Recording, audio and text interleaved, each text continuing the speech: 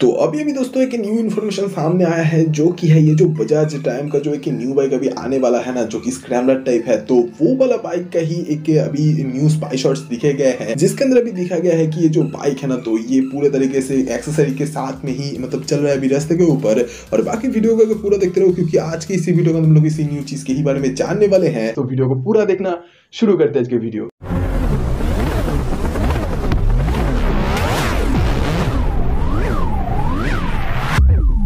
अभी दोस्तों कुछ समय पहले ही एक न्यू इन्फॉर्मेशन सामने आया है, जो कि है कि ये जो न्यू बजाज टाइम का जो एक न्यू स्क्रैमलर टाइप बाइक आ रहा है ना, जो कि 300 से लेके 500 सीसी कैटेगरी के अंदर अंदर होने वाला है तो वो वाला बाइक्स का ही अभी दिखा गया है एक न्यू स्पाई शॉट्स जिसके अंदर दिखा गया है कि वो जो बाइक है तो वो पूरे तरीके से एक्सेसरी के साथ में ही चल रहा है रस्ते के ऊपर। और जैसे कि अभी देख ही सकते होंगे एक्सेसरी के रूप में पहला जो चीज़ हमें नज़र आता है तो वो है इसी बाइक का ये क्लास लीवर और ब्रेक लीवर प्रोटेक्टर और उसके ही साथ साथ इसी बाइक के सामने देख ही सकते होंगे कि विंड ब्लास्ट प्रोटेक्टर भी दिया गया है। बाकी तो भाई इसी बाइक के पीछे देख ही सकते होंगे पेनियर्स और टॉप बॉक्स लगाने के लिए भी कुछ दिए गए हैं और उसके ही साथ साथ वो पेनियर्स और टॉप बॉक्स वाला जो सीन है तो वो भी हमें कुछ देखने को मिल रहा है, जैसे कि देख ही सकते होंगे। और इसके अलावा इसी बाइक के साथ ये जो टैंक बैग है तो ये भी शायद एक्सेसरी के रूप में भी आने वाला है तो इसी वजह से इसके साथ हमें देखने को मिला है। मतलब ये स्पाई शॉट्स के ही अंदर देखने को मिला है ये चीज़। और इसके ही साथ साथ इस वाले बाइक के अंदर जैसे कि देख ही सकते होंगे, सामने दिया गया है जो सस्पेंशन सेटअप तो वो है यूएसटी फोक्स और पीछे का जो सस्पेंशन सेटअप है तो वो है मोनोशॉक एब्जॉर्बर। बाकी इस वाले बाइक के अंदर आपको देखने को मिलेगा जो ब्रेकिंग सिस्टम। तो वो अभी रेट में कहा कुछ ऐसा ही जा रहा है कि सामने के चक्के पर ब्रेक और पीछे के चक्के पर भी ब्रेक के ही साथ साथ डुअल चैनल एबीएस वाला फीचर देखने को मिलेगा।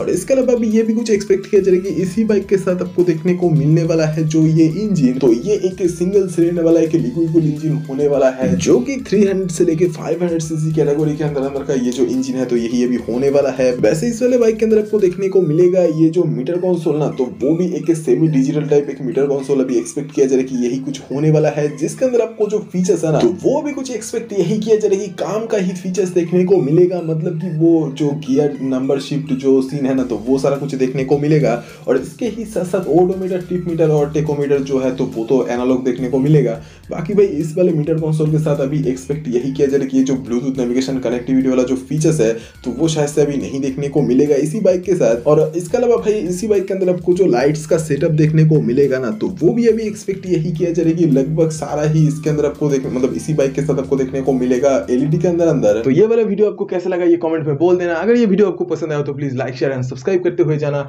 सब्सक्राइब करने के लिए इसीलिए बोलता हूँ क्योंकि सब्सक्राइब करने से आप नया नया वीडियो हर दिन देख सकते हो मेरे चैनल पर। तो वीडियो देखने के लिए शुक्रिया। फिर से मुलाकात होगा दोबारा। Thank you guys